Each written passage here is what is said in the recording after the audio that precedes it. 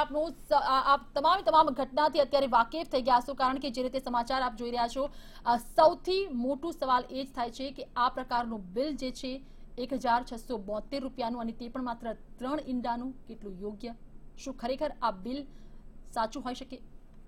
Bill સાચું હોઈ શકે કે નહીં એ તો તપાસમાં બહાર આવશે. બિલ તો સાચું જ હોય. કારણ કે હોટેલે આપ્યું છે. સવાલ અહીંયા બે ત્રણ ઉપસ્થિત એ થાય છે કે એક તો મેનેજર કે એના કર્મચારી કે જે ઓફિસર છે એ બહાર આવીને મીડિયા સાથે વાત કરવા માંગતા નથી.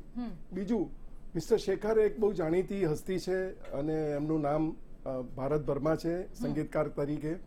ચોક્કસ એમને આ બિલ વધારે લાગ્યું એ વાત બહુ સાચી છે. આટલું બધું બિલ હોઈ ના શકે. બીજું એ છે કે આ ફૂડ આઇટમમાં આવે છે. હવે ફૂડ આઇટમમાં જીએસટી ના લાગે. હમણાં થોડા સમય પહેલા જો તમને ખબર હોય તો રાહુલ બોઝ જે એક ભારતની બહુ મોટી હસ્તી છે એમને કેળા ખરીદ્યા હતા એક આવી ફાઇવ સ્ટાર હોટલમાંથી જેનું બિલ એમને બસો રૂપિયા આવ્યું હતું. હવે એ બિલ એટલું બધું મોટું હતું એમને લાગ્યું એટલે એમને ફરિયાદ કરી અને આ ફૂડ આઇટમ કેળાની જે હતી જેની સાથે આ કેસને બહુ સિમિલર રિલેશન છે ને આઈડેન્ટિકલ કેસ છે. જો એની વાત કરીએ તો ચંડીગઢના જીએસટી કમિશનરે બસો રૂપિયાના બિલ ઉપર જીએસટી ચાર્જ કરવા માટે પચીસ હજાર રૂપિયાનો દંડ કરેલો. અને આ તો સરકારી સંસ્થા છે જીએસટી જે ગણ્યું એ. હવે આમાં એવું છે કે જીએસટી પ્લસ સેન્ટ્રલ સીજીએસટી બંને લાગશે. એટલે આ બિલનો મેં જે સ્ટડી કર્યો છે, જે ટ્વીટ કર્યું છે મિસ્ટર શેખરે, એમાં ત્રણસો એકવીસ રૂપિયા કે ત્રણસો બાવીસ રૂપિયા જેટલું જીએસટી ચાર્જ કર્યો છે. બંને સાઈડનું ગણીએ તો જીએસટી ને, તો આ જે જીએસટી ચાર્જ કર્યો છે, આ તમારી સમગ્ર જે મુહિમ તમે ચલાવી છે, બહુ જ સારી છે. આનાથી દર્શકો જાગૃત થશે, આપણો ગ્રાહક જાગૃત થશે. અને આ જે જીએસટી છે ફૂડ આઇટમ ઉપર લાગે નહીં. ઈંડા એ ફૂડ આઇટમમાં છે. જો હોટલના મેનેજમેન્ટ એમ કહેતી હોય કે આ બિલમાં બ્રેડ છે ને ચાય છે, તો જીએસટી આ પણ ફૂડ આઇટમ છે.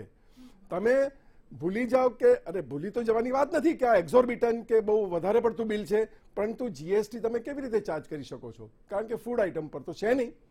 એટલે આની જો બહુ જ તલસ્પર્શી તપાસ થાય અને કંઈ પણ ભીનું જો સંકેલવામાં ન આવે, તો હું ધારું છું ચોક્કસ છે કે આ એક બહુ ગંભીર બાબત છે. સીજીએસટી લાદવામાં આવ્યું છે. સીજીએસટી પ્રકારનું બી એક અહીંયા અમાઉન્ટ એડ કરવામાં આવી છે.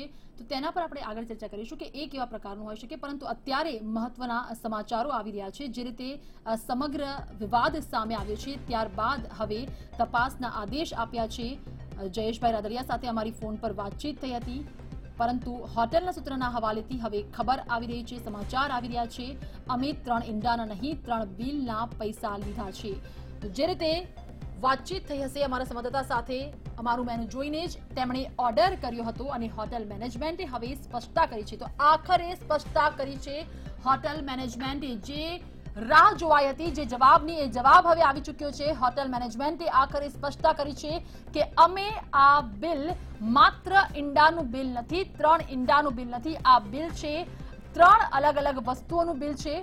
તો ત્રણ અલગ અલગ બિલ બનાવવામાં આવ્યા હતા અને આ જ ત્રણ બિલ થકીના પૈસા મળીને એક હજાર છસો બોતેર રૂપિયા થાય છે. એટલે કે હવે હોટલ મેનેજમેન્ટે સ્પષ્ટતા કરી લીધી છે કે આ બિલ જે છે, એક હજાર છસો બોતેર રૂપિયા, એ અલગ અલગ ત્રણ બિલની અમાઉન્ટ છે. તો હિમાંશુભાઈ, જે રીતે વાત થઈ રહી છે હોટેલ મેનેજમેન્ટે હવે સ્પષ્ટતા કરી દીધી છે. ત્રણ અલગ અલગ બિલના પૈસા લીધા છે પરંતુ બિલ તો એક જ દેખાઈ રહ્યું છે અને એમાં જ એક હજાર છસો બોતેર રૂપિયા દેખાઈ રહી છે.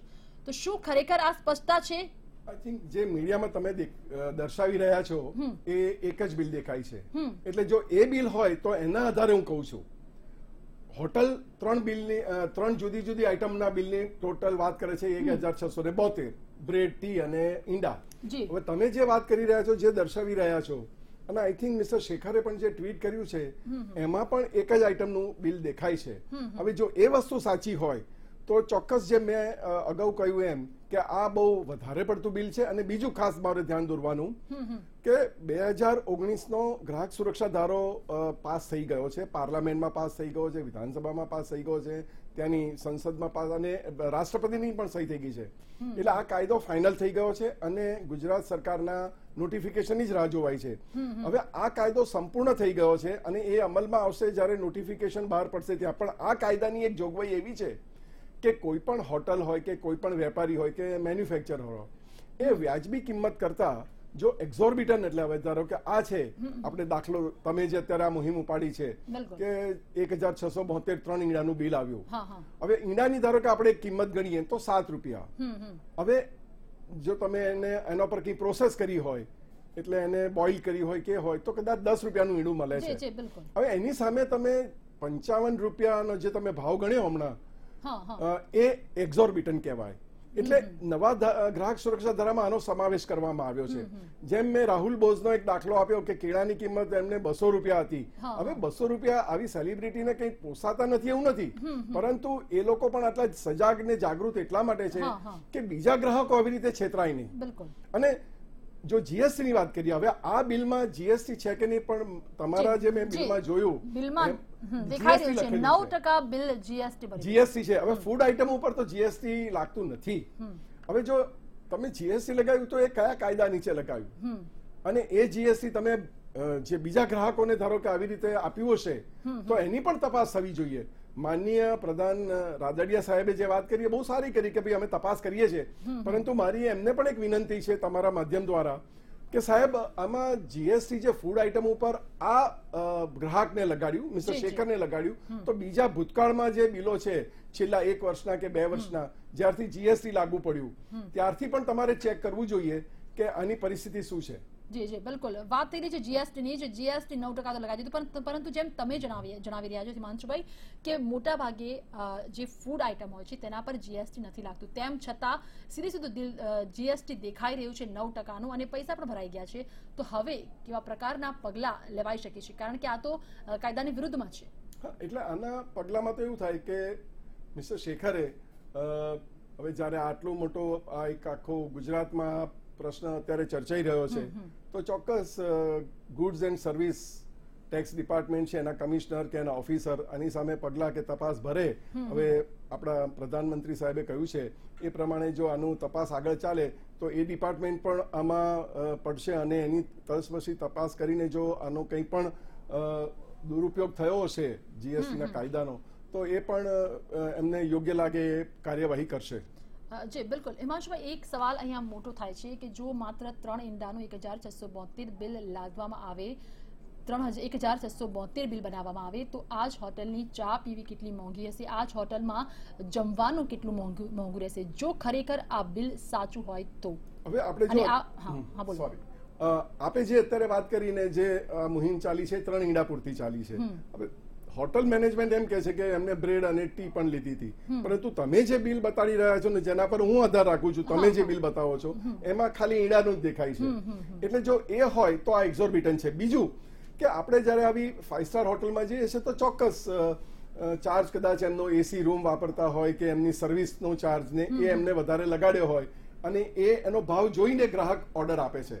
પરંતુ આ કેસમાં એવું છે કે આના ઉપર કોઈ ટોપિંગ કે એવું કરેલું નથી કે આના ઉપર કોઈ પ્રોસેસ નથી કરેલી. એવું લાગી રહ્યું છે.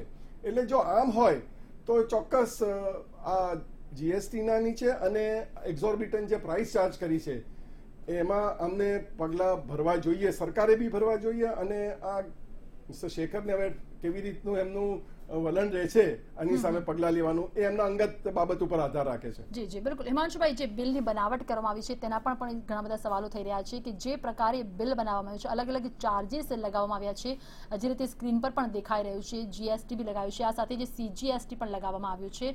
તો આ પ્રકારના ચાર્જીસ જેમ તમે વાત કરી કે બે હજાર ઓગણીસ ગ્રાહક સુરક્ષા ધારો પાસ થઈ ચૂક્યો છે તેમ છતાં આ બિલ આવા જે ચાર્જીસ છે તે કેટલા યોગ્ય? મેં આપને કહ્યું કે આ ચાર્જીસ યોગ્ય નથી.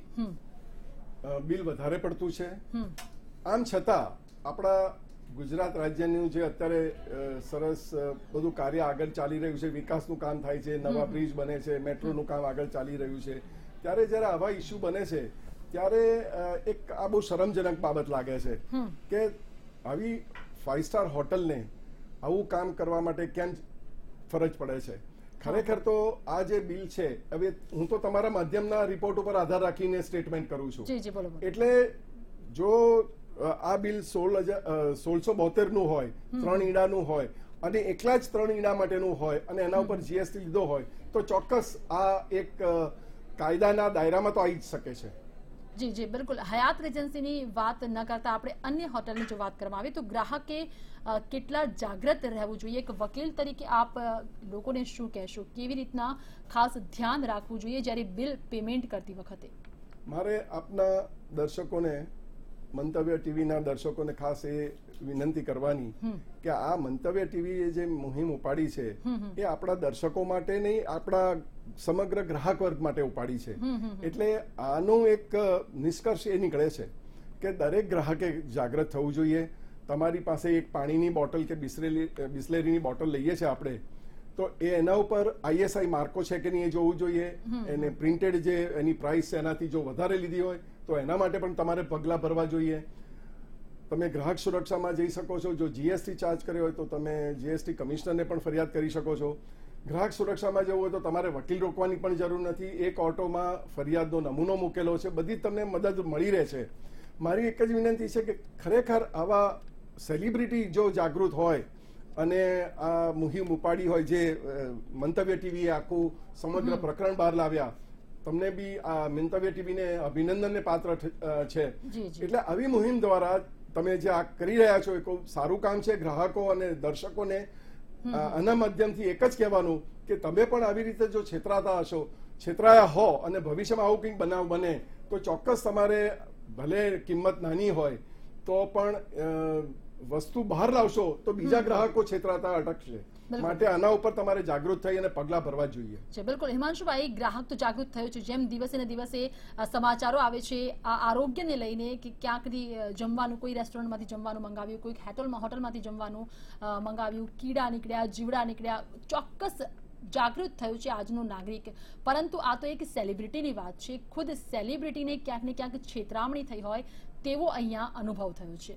એટલે મારે એ હું એ જ કહું છું કે સેલિબ્રિટીને કદાચ એમને સોળસો બોતેર રૂપિયા આપી દીધા હોત તો કોઈ એમને તકલીફ નથી પડવાની. પરંતુ સોળસો બોતેર રૂપિયા એમને પણ એક એવી ભાવના હતી કે એમને ટ્વીટ કર્યું કે સોળસો બોતેર રૂપિયા એમના જેવા જાગૃત ગ્રાહક છે. એ પણ એક ગ્રાહક તો છે જ.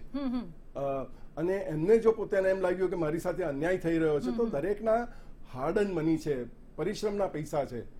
કોઈને કોઈ ઇઝી મની આવતા નથી. તમે શ્રમ કરો તમે નોકરી કરો તારે મહિને પગાર મળે છે ને એ રીતે તમે કમાવ છો અને ઘર ચાલે છે. એટલે આવી જે વ્યક્તિ જો આ રીતે જાગૃત હોય અને આટલું મોટું કામ કરીને પોતે પોતાની ભાવના વ્યક્ત કરતી હોય તો ચોક્કસ સામાન્ય નાગરિકે પણ આનો દાખલો લઈ આ એક બહુ ઉમદા ઉદાહરણ છે. અને તમને તમે મંતવ્ય મીડિયાએ આ બહુ એક ઉમદા મુહિમ ઉપાડી છે. તો ચોક્કસ આવી રીતે જાગૃત જે નાગરિક છે એને આ દાખલો બેસે તેવું એક પગલું લીધું છે. એવું દરેક નાગરિકે અને દરેક ગ્રાહકે પોતાને જો અન્યાય કારણ કે અન્યાય સહન કરવો એ પણ એક બહુ મોટો ગુનો. છે. સૌથી મોટો ગુનો છે. એટલે આવું તો થવું ના જોઈએ. એને એટલા જ માટે આપણે અન્યાય સામે લડી લેવું જોઈએ. જે બિલકુલ. હિમાંશુભાઈ આપ સ્ટુડિયોમાં આયા ચર્ચા કરી. ખૂબ ખૂબ આભાર આપનો. તો મંતવ્ય ન્યૂઝ તરફથી મુહિમ ચલાવવામાં આવી. રિયાલિટી ચેક કરવામાં આવ્યું પરંતુ સવાલ એ જ થાય છે કે શું ખરેખર હયાત એજન્સી તરફથી જે બિલ ફાળવામાં આવ્યું છે તે કેટલું સાચું છે? તપાસના આદેશ પણ અપાઈ ચૂક્યા છે પૂર્વ પુરવઠા પ્રધાન જયેશભાઈ રાદરિયા તરફથી. એટલે ચોક્કસ અમારા અહેવાલની અસર પડી છે. આ સાથે જ અમારી વિશેષ રજૂઆતમાં અત્યારે મને રજા આપશો. નમસ્કાર.